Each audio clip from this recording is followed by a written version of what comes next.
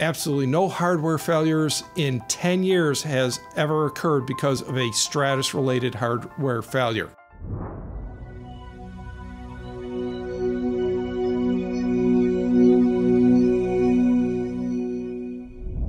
I'm Mark Jankowski. I am the Pinellas County SCADA coordinator.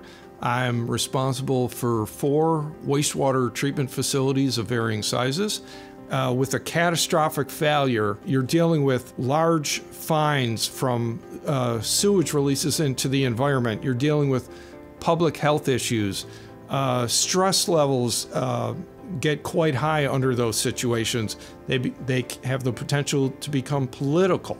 My current solution is extremely reliable, and I have to thank the folks from Stratus Technology who have provided the platform. And I also have InSource who has been integral in implementing the Wonderware software that we have installed on these Stratus servers.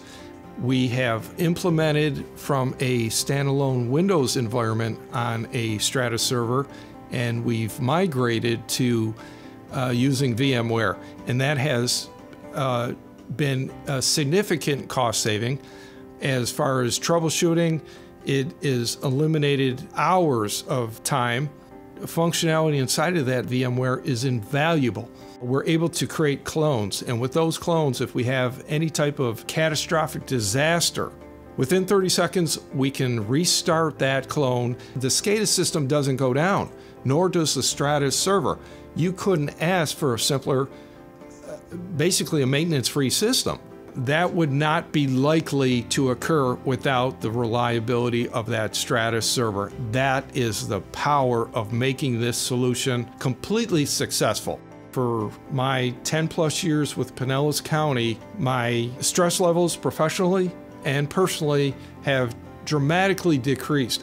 I sleep better at night knowing that I have two integral partners that work completely together have provided me with a reliable solution that's up 24 7.